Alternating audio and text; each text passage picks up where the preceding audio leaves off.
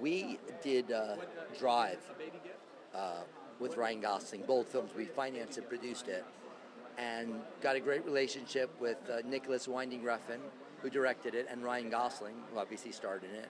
We then did another movie called Only God Forgives, where they reteamed, and then um, Nick's doing another movie that we're producing.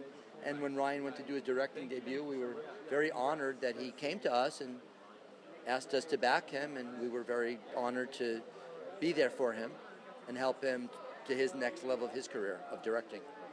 Um, and why did you guys uh, want to have this movie be shown here at South by Southwest? Uh, it's the closest cool festival right before it comes out.